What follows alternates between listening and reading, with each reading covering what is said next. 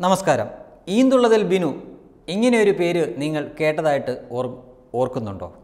ഈ വ്യക്തി ഇവിടുത്തെ ഇസ്ലാമിക തീവ്രവാദത്തിന്റെ ഇരയാണ്. ഓർമ്മയുണ്ടോ ആ പേര്?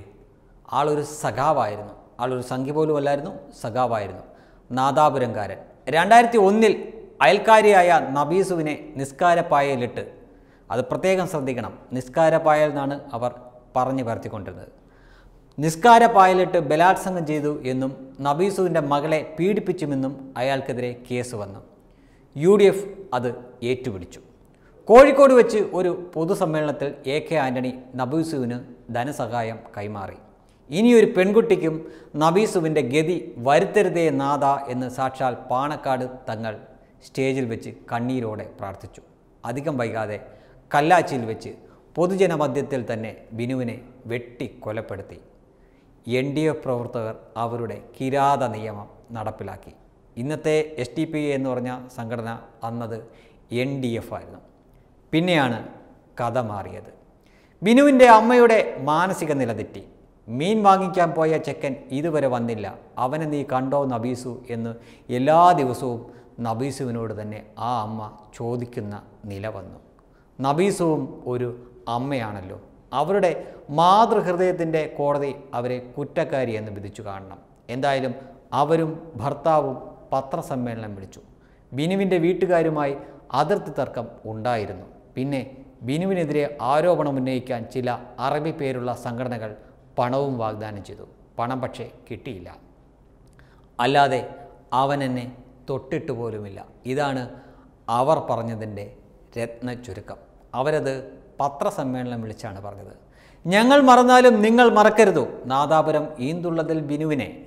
ബിനുവിന്റെ കൊലപാതകത്തിൽ സമാധാനത്തിന്റെ വെള്ളരിപ്രവായ പാണക്കാട് തങ്ങൾക്കും പങ്കില്ലേ? ഒരാളെ ഒഴിവാക്കണമെങ്കിൽ അയാൾക്കെതിരെ സ്ത്രീപീഡനം ആരോപിക്കുക. പൊതുസമൂഹത്തിൽ അയാൾ കുറ്റക്കാരനാണെന്ന് വരുത്തി തീർക്കുക. പിന്നീട് ക്രൂരമായി കൊന്നെടുക്കുക. ഇത് ഇന്നും ഇന്നലെയും തുടങ്ങിയതല്ല എന്ന് ഓർമ്മിപ്പിക്കുകയാണ് ഉദ്ദേശം. ബിനുവിനെ കൊന്നത് എങ്ങനെയാണ് എന്നറിഞ്ഞാൽ ആ കൊലപാതകത്തിന്റെ ഭീകരത നിങ്ങൾക്ക് മനസ്സിലാക്കാവുന്നതാണ്. ബിനുവിനെതിരെ ആരോപണം ഉന്നയിക്കാൻ പറഞ്ഞ അറബി പേരുള്ള സംഘടനകൾ ഏതൊക്കെ? ഇതിനെക്കുറിച്ച് എന്തെങ്കിലും അന്വേഷണമുണ്ടായോ? R S എസിനെയും S D P S D P I എന്ന സംഘടനയെയും ഒരേ നാണയത്തിന്റെ ഇരുവശങ്ങളായി പ്രഖ്യാപിക്കുന്ന കുട്ടി സഖാക്കൾക്ക് ബിനുവിന്റെ മരണം ഒരു പാഠമാണ്. തീവ്രവാദികൾ ലക്ഷ്യമിടുന്നത് ആർ എസ് എസിനെ അല്ലെന്നും തീവ്രവാദികളല്ലാത്ത മുഴുവൻ സമൂഹത്തെയാണെന്നും തലച്ചോർ പണയം വെക്കാത്ത സഖാക്കന്മാർ ഓർത്താൽ നന്ന്. അതായത് ഓർക്കുക ഈന്തുളതിൽ ബിനു എന്ന വ്യക്തി ഒരു സംഘപരിവാർക്കാരൻ പോലും അല്ലായിരുന്നു അയാളൊരു സഖാവായിരുന്നു. അതിർത്തി തർക്കത്തെ തുടർന്നുണ്ടായ ചില സംഭവവികാസങ്ങളാണ് അങ്ങനെയൊരു കഥ മെനയാൻ നബീസുവിനെ പ്രേരിപ്പിച്ചത്. അവരെ അതിലേക്ക് എത്തിക്കുകയായിരുന്നു എന്ന് വേണം കരുതാൻ. അങ്ങനെ അതിനിഷ്ഠൂരമായ രീതിയിലൊരു കഥ മെനയുന്നു ആ പാവപ്പെട്ട ചെറുപ്പക്കാരന് സ്വന്തം ജീവൻ തന്നെ വിലയായിട്ട് നൽകേണ്ടി വരുന്നു. പിന്നീട് കുറ്റബോധത്താൽ നേറിയ നബീസു പത്രക്കാരോട് എല്ലാം ഏറ്റുപറയുന്നു. അപ്പോഴേക്കും ഈ ഭൂമിയിൽ തനിക്ക് സ്വാഭാവികമായി കിട്ടേണ്ട ആ എല്ലാ സ്വാതന്ത്ര്യവും എല്ലാ സൗഭാഗ്യവും അനുഭവിച്ചുകൊണ്ട് തന്റെ സ്വാഭാവികമായിട്ടുള്ള ആയുസ് തീരുമ്പോൾ വരെ ജീവിക്കാൻ അർഹതയുണ്ടായിരുന്ന അവകാശമുണ്ടായിരുന്ന ഒരു വ്യക്തിയെ നിർബന്ധപൂർവം ഈ ഭൂമിയിൽ നിന്ന് പറഞ്ഞു വിടുകയാണ് ഭീകരവാദികൾ ചെയ്തത്. എല്ലാവർക്കുമുള്ള പാഠമാണ് ഇത്തരം സംഭവങ്ങൾ.